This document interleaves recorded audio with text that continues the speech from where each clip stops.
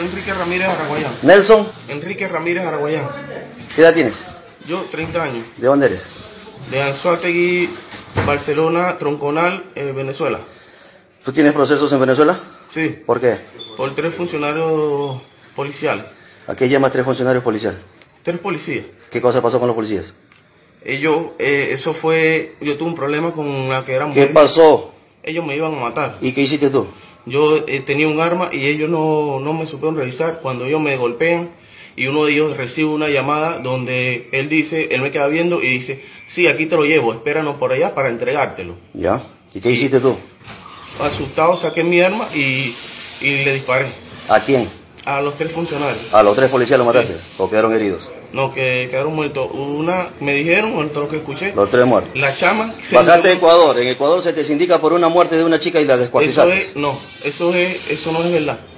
Yo por Ecuador simplemente pasé y en los registros de mi entrada dice que yo no me quedé. Pero No lo otro sí, tú no te niegas lo de Venezuela, lo, Lo de Ecuador sí. no me lo quiero. No No, pasa me lo nada. niego lo de Venezuela. Lo de Ecuador eh, lo están haciendo para implicarme, para enchavarme en las redes. Listo.